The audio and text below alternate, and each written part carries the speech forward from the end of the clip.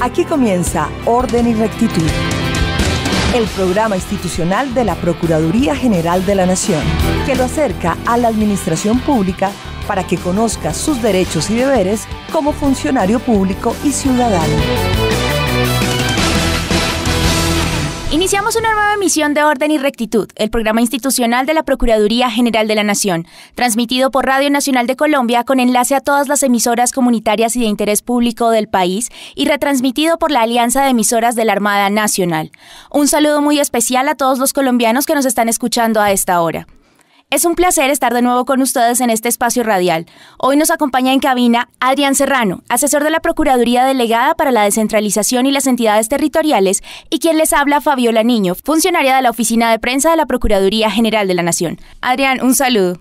Gracias, Fabiola. Un saludo a usted y a todos los ciudadanos y servidores públicos que nos acompañan a esta hora. Bienvenidos a esta nueva emisión de Orden y Rectitud, el programa que orienta a la gestión administrativa para fomentar buenas prácticas y además informar a los ciudadanos para que puedan participar en la construcción de un mejor país. Pues Fabiola, empecemos entonces con nuestro temario para el día de hoy.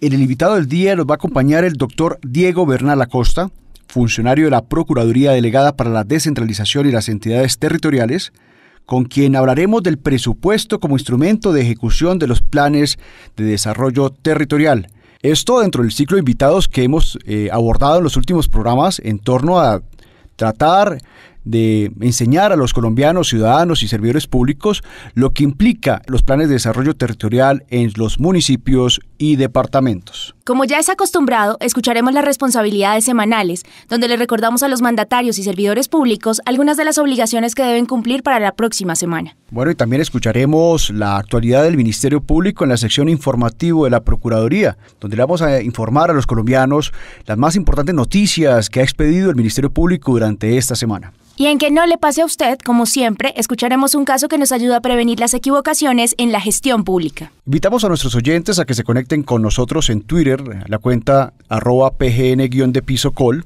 También estamos en Facebook en www.facebook.com slash Procuraduría General o escríbanos al correo prensa arroba. Así iniciamos Orden y Rectitud, el programa institucional de la Procuraduría General de la Nación. Síganos en Twitter, arroba PGN Raya al Piso Col. Invitado del día.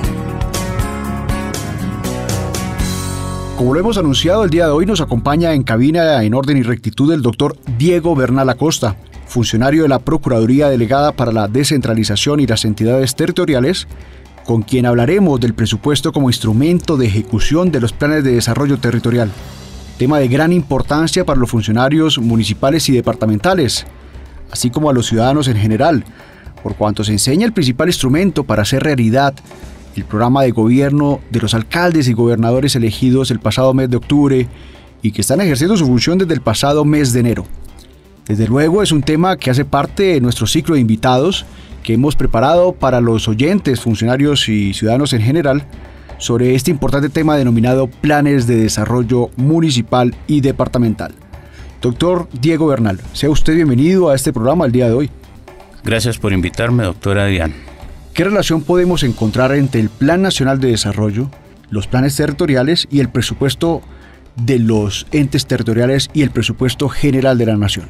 Quiero resaltar un hecho que usted ha mencionado en la introducción de la entrevista y es que esta información no es solamente para los mandatarios territoriales, sino también debe ser una información importantísima para la ciudadanía en la medida en que si nosotros desarrollamos un plan de desarrollo con participación de los agentes directos, que van a ser los ciudadanos beneficiarios de esos planes de desarrollo, de Contera, los presupuestos de la misma manera deben interesar a todos los ciudadanos porque son ellos quienes en últimas se van a ver beneficiados, esperaríamos que, en su mayoría, o perjudicados si no se hace un presupuesto adecuado. Ahora, eh, para responder puntualmente la pregunta, debemos entender un enfoque sistémico. Eh, de primera mano, los entes territoriales elaboraron su plan de desarrollo compuesto de una parte por el insumo que el mandatario le presentó a sus electores diciendo qué iba a hacer y luego, después de la discusión, queda aprobado ese plan.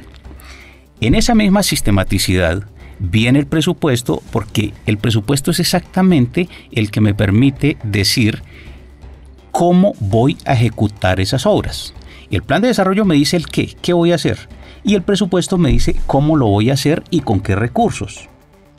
No tendría sentido hacer un plan de desarrollo muy bien organizado si en definitiva los presupuestos no son coherentes con ese plan de desarrollo y lógicamente se generaría una frustración para la sociedad porque dice no voy a percibir esas promesas que me hizo este mandatario que se deben materializar en la ejecución de ese presupuesto, ya sea en obras públicas, ya sea en servicios sociales que tiene que prestarle el mandatario a sus conciudadanos. Doctor Diego, eso quiere decir que el hoy mandatario, que en la época de candidato prometió un puente y no, no tiene suficiente presupuesto para llevar a cabo esta actividad, no lo podría ejecutar ni colocarlo dentro del plan de desarrollo.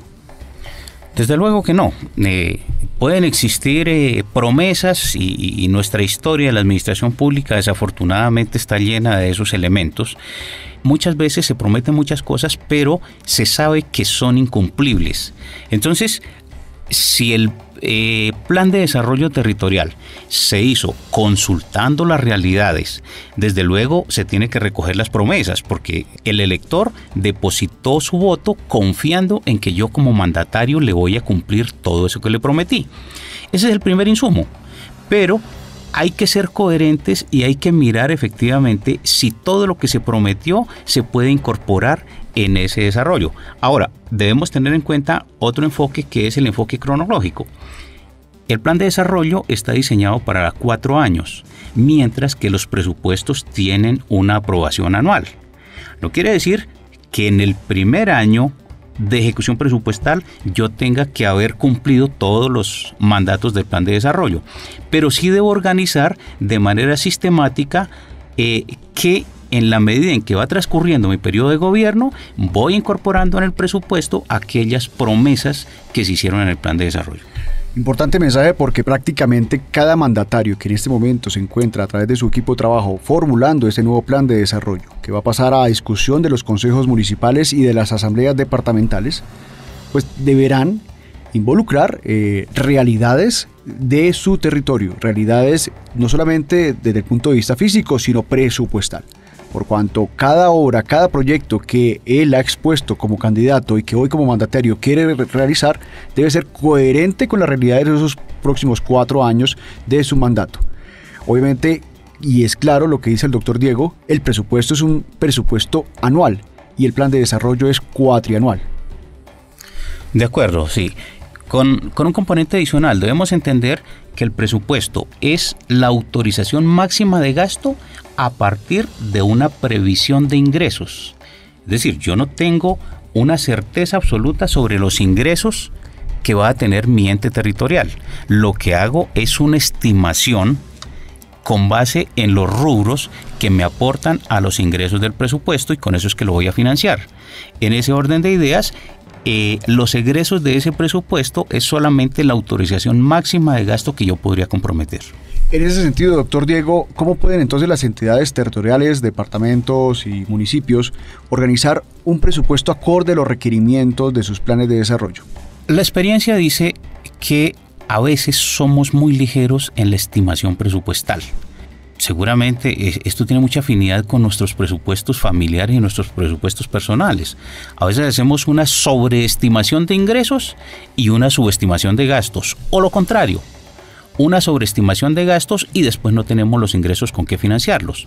Lo ideal es que ese mandatario territorial haga un proceso de, de participación de su comunidad, sepa exactamente cuáles son las necesidades con que cuenta, las que va a atender, que deben ser exactamente las mismas que plantea en su plan de desarrollo y por esa vía, de una manera muy prudente, no comprometer el cielo y la tierra, no, no, no hacer promesas sobre lo que no va a poder cumplir, sino consultar las realidades.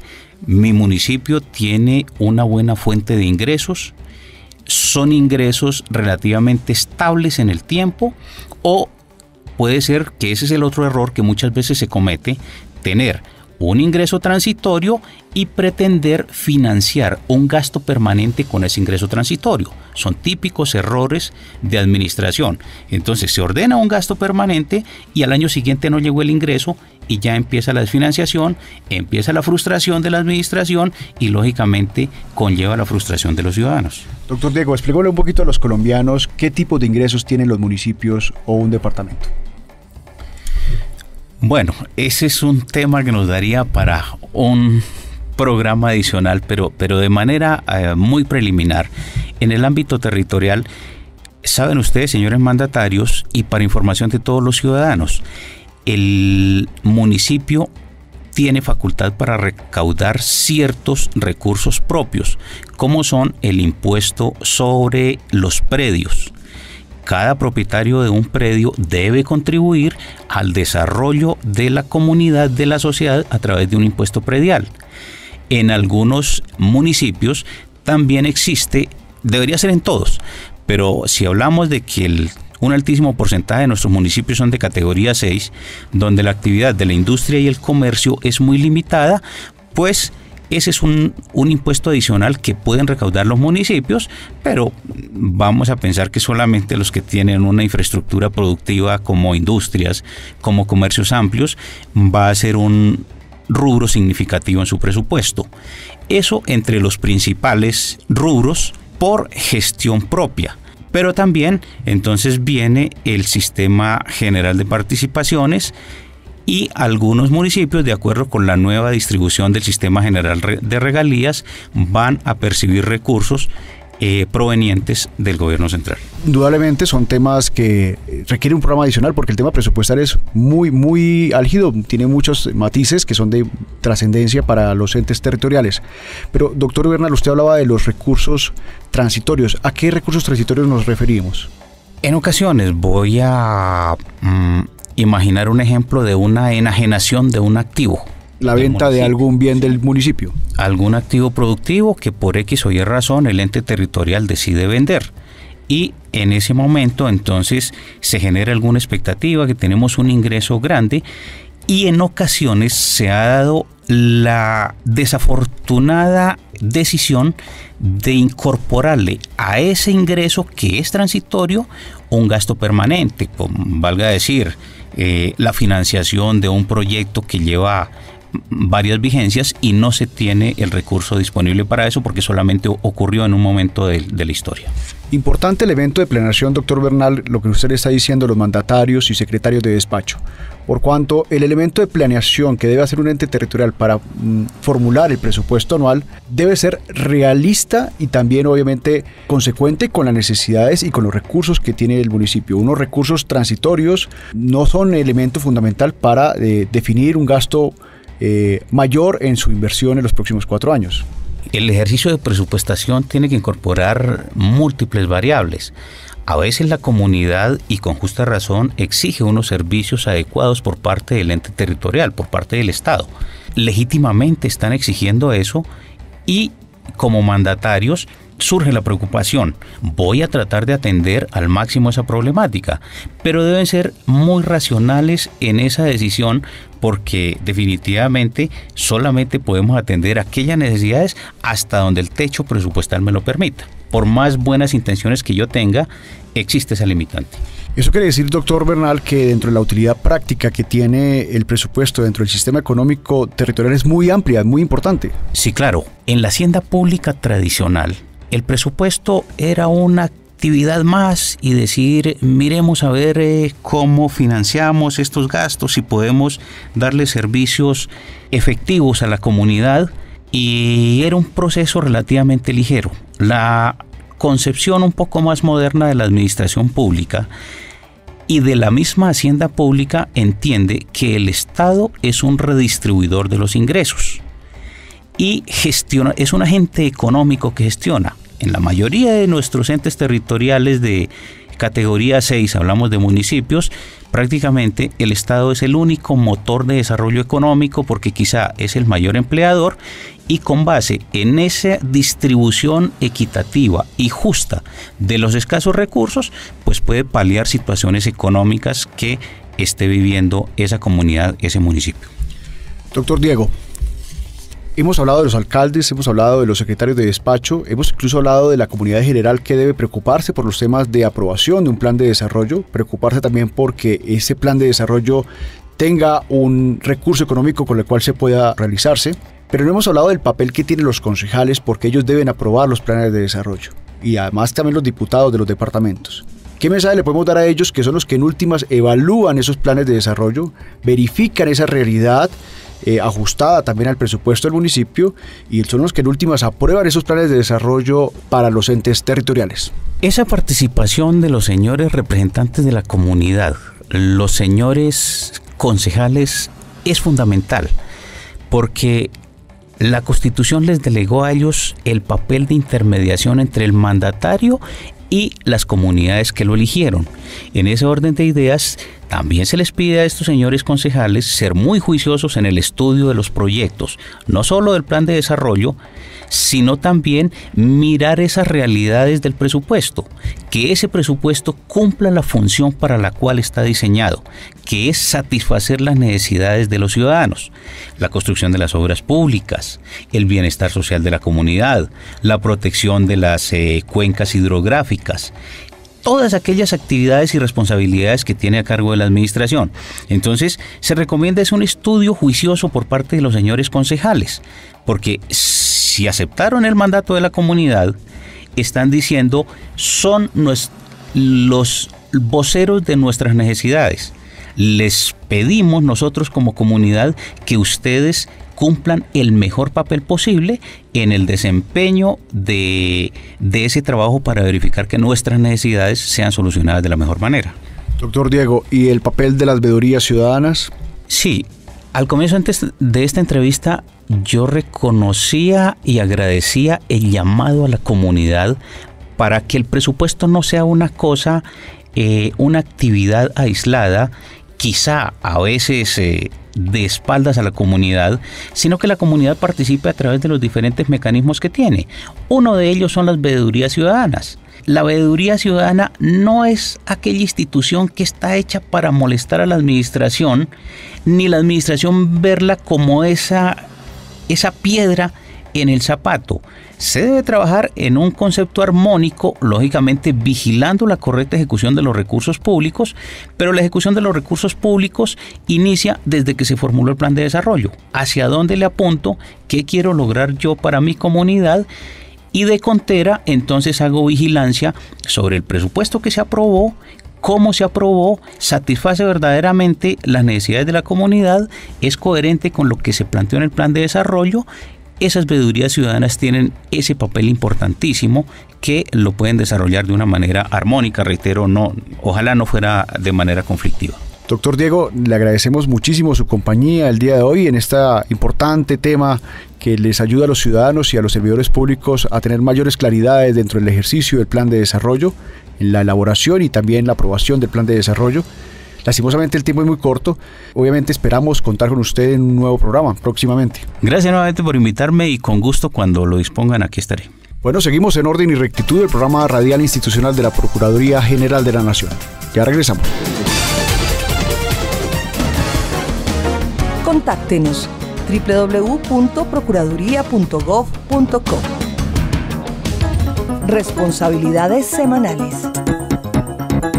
Iniciamos con una de las secciones más escuchadas por los mandatarios públicos que siempre están diligentes a cumplir con sus obligaciones. En responsabilidades de la semana, les recordamos qué tareas deben tener en cuenta los administradores públicos y ordenadores del gasto durante esta semana.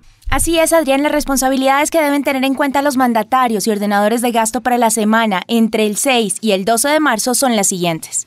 A los señores secretarios de Planación recuerden presentar el informe ejecutivo anual de control interno ante el Departamento Administrativo de la Función Pública. Para mayor información, consulte la página www.funcionpublica.gov.co. A los secretarios de planeación les recordamos que deben informar al Departamento Nacional de Planeación en los primeros 10 días de cada mes acerca de la ejecución física y financiera de los proyectos financiados con recursos del Sistema General de Regalías a los señores alcaldes, ustedes que acaban de iniciar las actividades territoriales, los días 9, 10 y 11 de marzo se llevará a cabo el Congreso Nacional de Municipios, actividad se desarrollará en el Centro de Convenciones Julio César Turbay en la ciudad de Cartagena. Para mayor información pueden consultar la página www.fcm.org.co. A los secretarios de salud les recordamos que deben realizar los giros de recursos de esfuerzo propio a las EPS dentro de los 10 primeros días hábiles de cada mes por el monto definido en la liquidación mensual de los afiliados. A los señores secretarios de salud, recordarles que el Consejo Territorial de Seguridad Social en Salud debe reunirse por lo menos una vez cada tres meses. Si esta reunión no se ha llevado a cabo el, el primer trimestre, debe programarse y realizarse prontamente.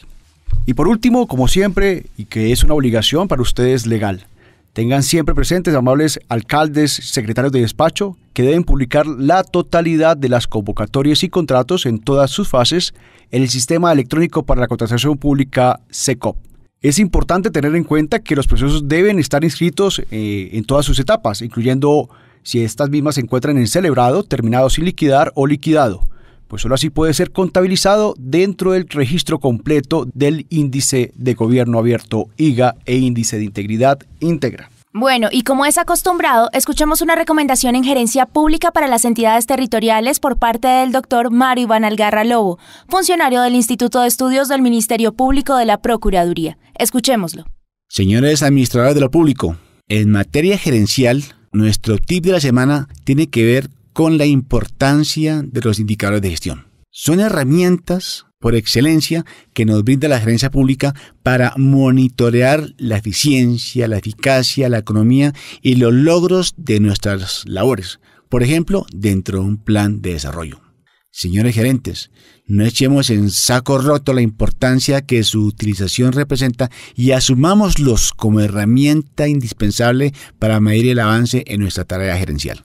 Muchas gracias, doctor Mario Iván, por este importante consejo gerencial. Ya escucharon, señores alcaldes, señores mandatarios, señores gobernadores y demás funcionarios públicos. Para que su gestión pública sea eficiente, tenga siempre en cuenta sus responsabilidades semanales.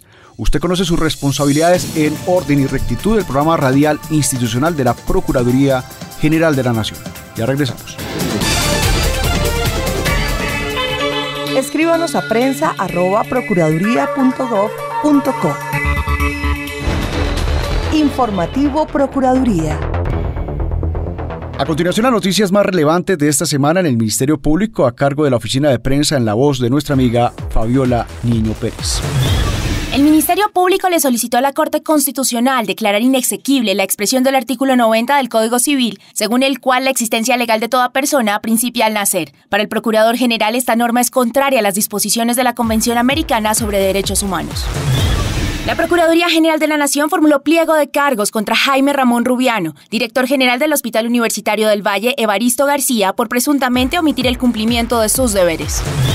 La Procuraduría General de la Nación, en decisión de primera instancia, suspendió por un mes al señor Mauro Hermida Henao, exsecretario de Salud y Educación de Yaguarahuila, por las irregularidades presentadas en un contrato de interventoría suscrito entre el municipio y Coservir. Por posibles irregularidades en contratación, la Procuraduría General de la Nación formuló pliego de cargos contra el exalcalde y exasesor de planeación de El Paso Cesar.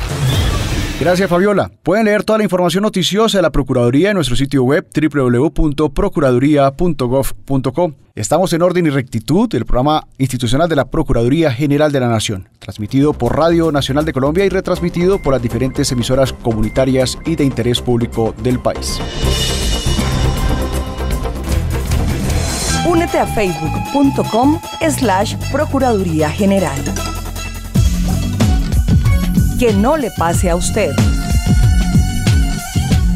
Hemos llegado a una de las secciones que resalta la labor preventiva del Ministerio Público, que no le pase a usted, en la que damos a conocer casos que ejemplifican las acciones que debemos evitar en el ejercicio de la administración pública. Hoy tenemos un caso que nos trae el doctor Ignacio Morales, funcionario de la Procuraduría General de la Nación. Escuchémoslo con mucha atención. Agradezco al programa Orden y Rectitud por la invitación a compartir con ustedes un caso de aquellos que no deben suceder dentro de la administración pública. En una entidad pública de nuestro país, en el mes de junio del año 2011, se adelantó una contratación de servicios profesionales para apoyar el proceso de auditoría que debía adelantar dicha entidad en su misión. Tras investigación disciplinaria adelantada por la Procuraduría General de la Nación, se pudo evidenciar que la persona que fue contratada para prestar sus servicios profesionales no cumplía con la totalidad de los requisitos establecidos en los estudios de conveniencia y oportunidad que se expidieron para la celebración del contrato.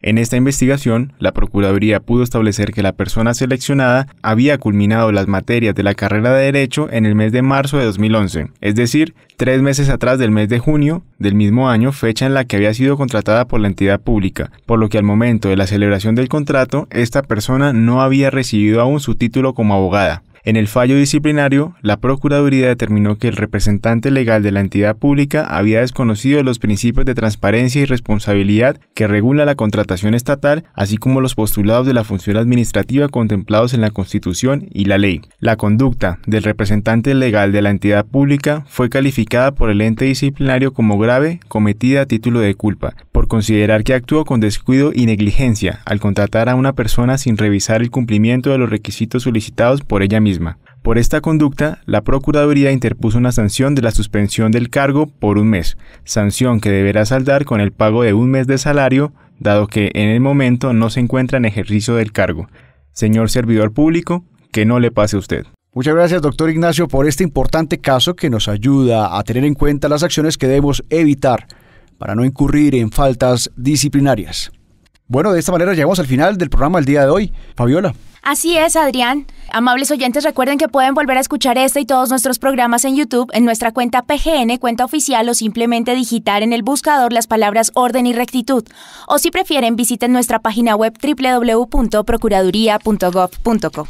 Un mensaje final para los oyentes eh, que se encuentran en el departamento de Santander, sur de Bolívar y sur del Cesar. El próximo 8 de marzo se llevará a cabo una de las mesas de trabajo preventivo que está liderando el Procurador General de la Nación, el doctor Alejandro Ordóñez Maldonado, en la ciudad de Bucaramanga. El sitio del evento es el Paraninfo de la Universidad Santo Tomás, sede Florida Blanca, en el departamento de Santander. La actividad comenzará este 8 de marzo a las 8 de la mañana y culminará a las 5 de la tarde. Agradecemos la presencia de los alcaldes, señores secretarios de despacho, concejales, personeros, contralores municipales y demás funcionarios públicos del orden territorial.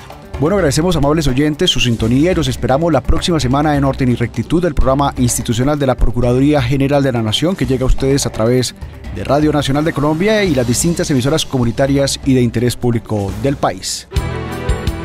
Aquí termina Orden y Rectitud, el programa institucional de la Procuraduría General de la Nación, que lo acerca a la administración pública para que conozca sus derechos y deberes como funcionario público y ciudadano.